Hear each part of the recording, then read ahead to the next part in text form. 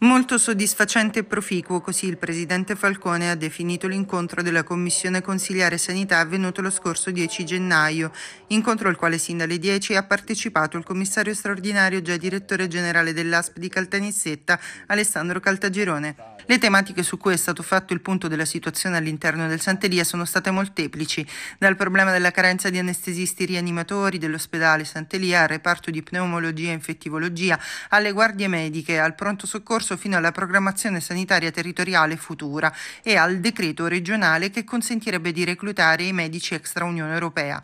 Circa gli anestesisti rianimatori, il commissario straordinario ha ricostruito la vicenda dal 2019 ad oggi, chiarendo tutti i passaggi che riguardano sia le fasi concorsuali che le graduatorie relative e i meccanismi delle graduatorie che avrebbero favorito le città metropolitane mettendo in difficoltà il resto delle città siciliane. Tuttavia il reperimento di specialisti resta un nodo nazionale. Ed infine conclude il Presidente della Sesta Commissione, con tutti i colleghi di tutte le forze politiche siamo concordi sul procedere con una serie di incontri molto serrati una serie di visite sia alle guardie mediche di Via Malta che di Santa Barbara.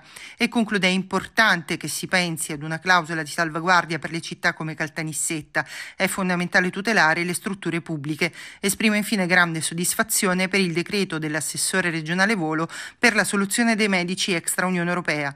I problemi ci sono, le difficoltà sono tante, avremo sempre un occhio attento e vigile.